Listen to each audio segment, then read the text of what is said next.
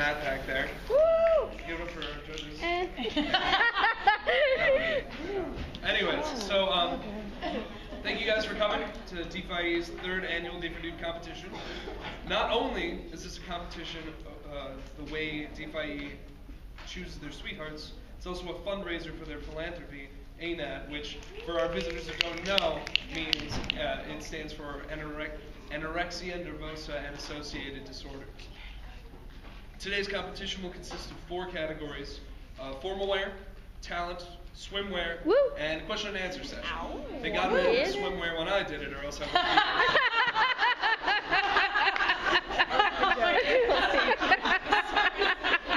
You sound That wasn't a joke. Anyways,